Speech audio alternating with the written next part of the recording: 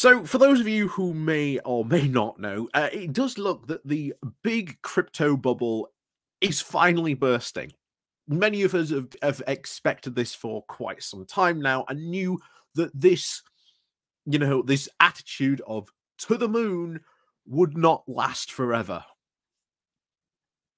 And it seems to me that this whole FTX scandal that has been steadily unfolding now for the past couple of weeks is going to be quite the bubble burster.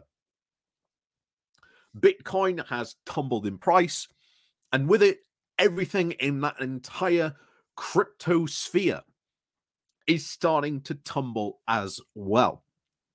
Because even though crypto was sold as the currency of the future, it was never treated like a currency. No one was, you know, spending it as as a currency. Instead, people were just encouraging themselves just to hoard as much as it as they possibly could and sit on it like a dragon until eventually it reached a good price and then they could sort of sell it off and then buy some more crypto the profits and then rinse and repeat that's not how a currency works.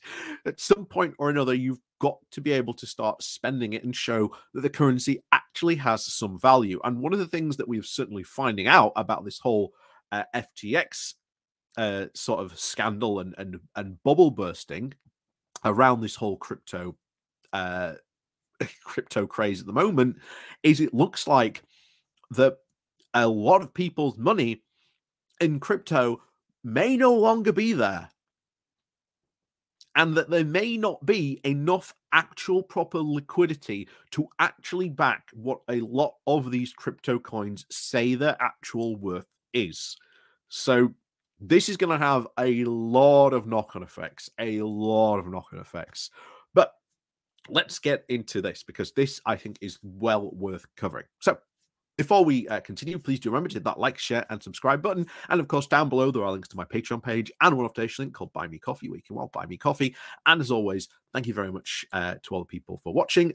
And of course, uh, yes, on with the show. So here we are uh, on the Guardian for for their little uh, piece about this. So after the FTX crash, here's what you need to know: the crypto bubble is already bursting. Following the bankruptcy of one of the world's largest cryptocurrency exchanges, FTX and the price of Bitcoin or BTC has tumbled again. It is now about $16,500, a far cry from the all time high of $66,000 just a year ago. But why the large drop in value? It's because of the highly toxic combination of an exchange with an electronic platform for buying and selling called Binance and a stablecoin, a crypto whose price is pegged at least one to one of the US dollar, or another fiat currency called Tether. And of course, the skilled professional traders running the high frequency algorithms. Unlike stocks, Bitcoin can be traded on many different exchanges, but uh, Binance has more than a 50% of the entire crypto market. And as a result, it sets the price of Bitcoin and other cryptocurrencies. In order to buy cryptocurrencies, traders must convert fiat money into stablecoin, like Tether. Bitcoin Tether must then uh, has by far the largest volume of all its products in Binance. And because $1 usually equals to one Tether, trading on Bitcoin Tether sells the dollar price of Bitcoin. But when Bitcoin crashes, so does the entire crypto ecosystem. The issue is that Binance is only self regulated, meaning that it is completely unregulated by a traditional market regulators such as Securities Exchange Commission in the US or even the Federal Conduct Authority here in the UK. This is the great attraction for professional traders because they can deploy high frequency price manipulation algorithms on Binance, which are against the law in regulated markets. These algorithms can then rapidly reduce price movements up and down, making Bitcoin extremely volatile. Binance does its own clearing and settlements of traders with some or all of the self regulated crypto exchanges.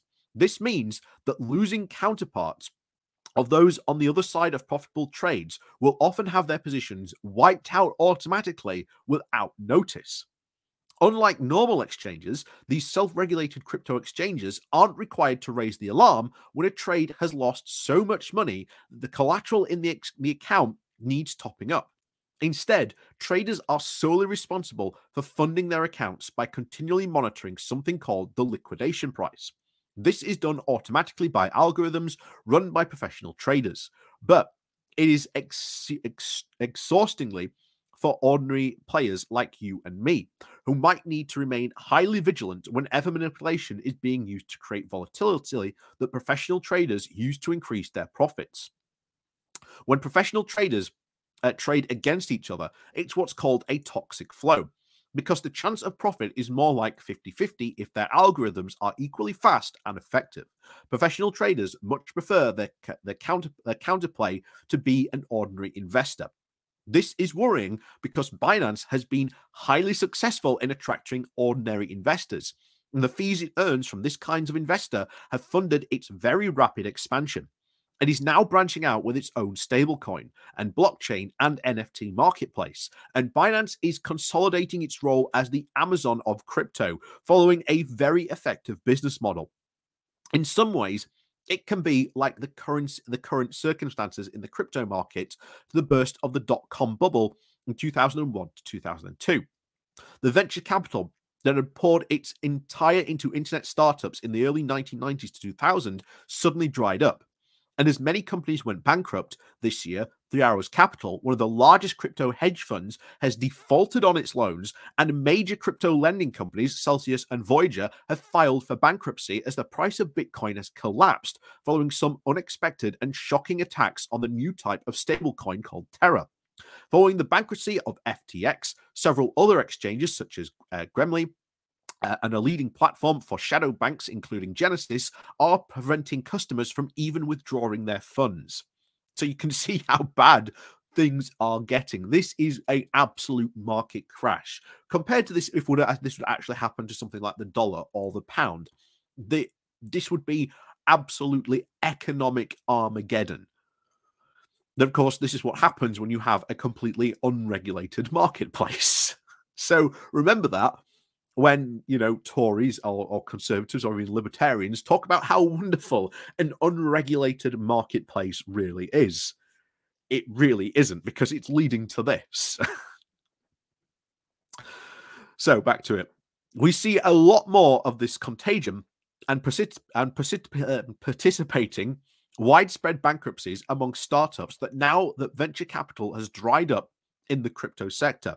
More exchanges and lending platforms, as well as blockchains and NFT marketplaces, data ag- agitators, and analytics companies will all bite the dust. Binance could emerge from this chaos with a monopoly. But right now, this non domicile and self regulated company still needs fee revenue from ordinary investors. It needs markets and marketers, the professional traders akin to unfriendly stallholders on the exchange, to conduct its business. The danger is that everyone is very scared now. So the only way to draw in ordinary investors is to pump up the price of Bitcoin again. This would tempt people back into the crypto game, but only to have their savings wiped out as the cycle of volatility continues. So, as you can see, once again, um, yeah, crypto is not a wise investment at all. And of course, because I can predict it's going to happen because I have said the magic words crypto and crypto is in the title. There is going to be a magical conversation that takes place by all these people who aren't subscribed to my channel, but it's going to be, gee, I agree with your conversation, but I found that investing in crypto just happens to be the best thing. To which someone else replied, gee, I invested in crypto but didn't get a thing. To which eventually leads to all trying to promote a crypto trader. Something that, again, um, is not a good investment. Crypto has never really been a stable or good investment. It is not backed by a, a single fiat company. It is non regulated, which is leading to this colossal mess that you're seeing right now. there's a whole other bunch of the FTX stuff going on as well. Uh, Matt Binder, uh, he runs a, a podcast come this runs called the Scam Economy.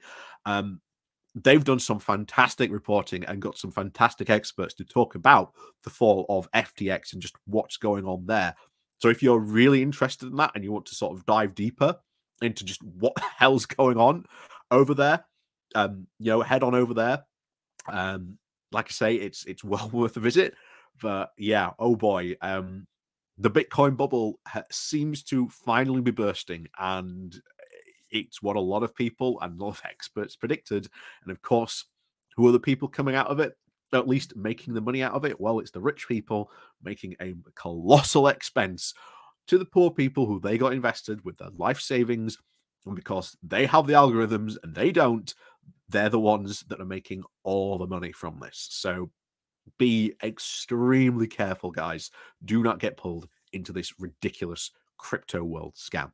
But of course, as always, thank you very much for watching. And of course, please do remember to hit that like, share, and subscribe button. And of course, down below, there is a link to my Patreon page where you can, again, uh, support me on there. Or there's the one off donation link called Buy Me Coffee, where you can well buy me coffee. Or there's the YouTube thank you button again down below. And of course, there's YouTube Pony Club as well. You can join as well. So, as always, thank you very much for watching. And of course, we'll see you all next time.